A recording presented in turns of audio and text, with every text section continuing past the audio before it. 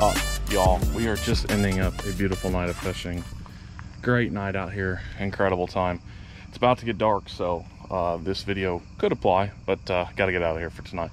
But basically, I wanted to show you guys the newest upgrades to the Jon boat.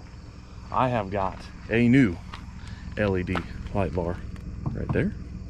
And I've got two in the back, one right there and one right there. Basically, these little lights make night fishing absolutely insane. And it's all running off of this one. Beautiful. 12 volt battery, an interstate battery. So what I've done here is I've gone ahead and rigged up trolling motor so it's separate and the white here and then the red and black is for my switch panel. And then basically I've got the night lights going into the switch panel. So I don't remember which one it is. Oh that's front that's rear probably can't see the rear right now. Front on off. It's pretty neat. Uh, I'm gonna put in some footage now of us just out on the water having some fun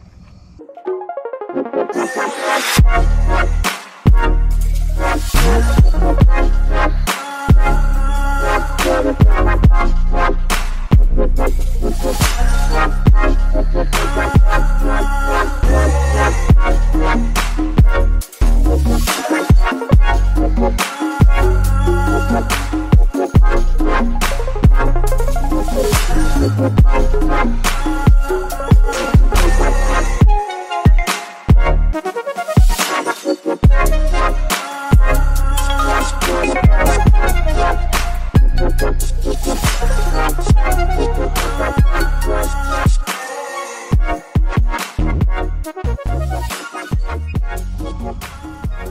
kind of neat uh, having a Jon boat like this because you can customize it so much. But basically, I've got all of my wires coming off this battery. And then they run up one of the beams. There's a beam going right through here and into the switch panel. And then everything inside that switch panel just gets to be an absolute jumbled mess. But that switch panel is key the switch panel is huge because it can allow you to turn power on and off to all of my different things. I've shown you guys before some of the lights that I've got on here. I've got deck lights. I don't remember which switch that is. There it is. I've got deck lights. I've got some glow lights that are underneath here. You can kind of see a little bit. And then navigation, red and green. But I just wanted to show you guys a little bit, uh, you know, some things that you can do with the Jon boat. And one of the coolest things about that is that the wires go to the switch panel and then after the switch panel you have to run wires so it can be a little bit of a jumbled mess but I also do have some wires that come down here come across through here underneath and then run down the sides. And what I've got here is just a little bit of tubing. And inside that tubing runs all the wires. They go through here up the seat. You can see a little bit there underneath the seat. And then in the back we've got these two neat little lights. And believe it or not those two lights do just as good as the front light. I like the back ones a little bit better because when you're driving it stirs up the water and the air and the water and everything just kind of glows. It just makes it absolutely gorgeous but it's pretty neat.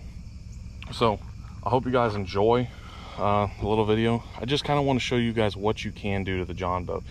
I'm putting this video out there more for questions and uh, comments. If you guys want to see something special off this boat I can definitely do a video you know super customizable to you know how did you exactly wire it? Or um, you know what else are you planning on adding? Stuff like that. So let me know down below in the comments what you guys are thinking uh, what you want to know.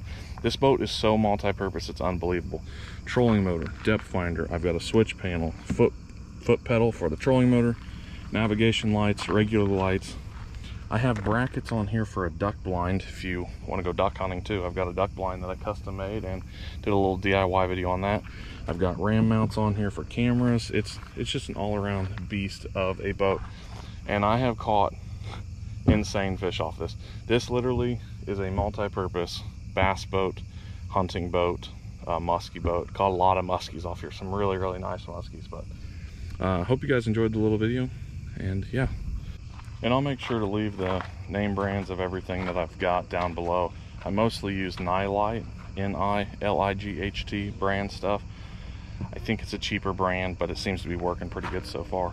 One thing you will want to notice is that LEDs typically reflect off the water rather than absorb into the water. So if you're trying to bow fish with them, they may not be the best option, but you might be able to see some fish. But again, uh, if you use more of a a yellow light, it will absorb into the water. So they are pretty neat lights. They do pretty good um, in the dark time. In the dark, I mean, like you can see there, it is.